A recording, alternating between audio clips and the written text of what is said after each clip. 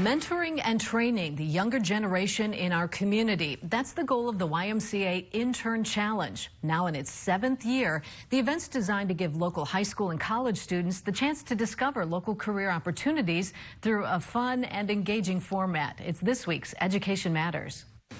Students competing in the YMCA Intern Challenge meet their fellow contestants at Camp Winnebago. The first week is spent doing team building activities. Then it's on to project challenges. Each week, a, uh, a student has an opportunity to engage into a, a challenge that will tap into their, their gifts and their abilities. The challenges are designed to expose students to various career opportunities. Maybe this experience will help me uh, gain um, or know more about other fields. And that way I can have a better idea of where I could fit or where I would enjoy being in like a career.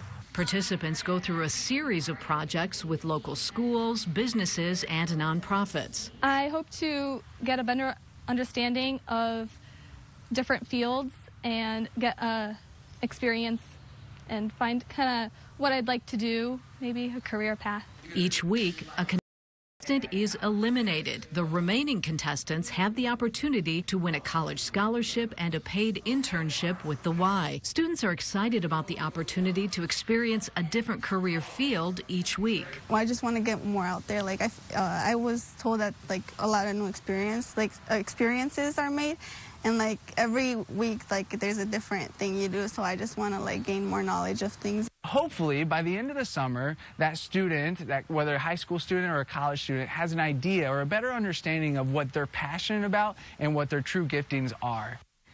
There are scholarships for second and third place, as well as chances to win weekly bonuses. We'll check back with the remaining contestants.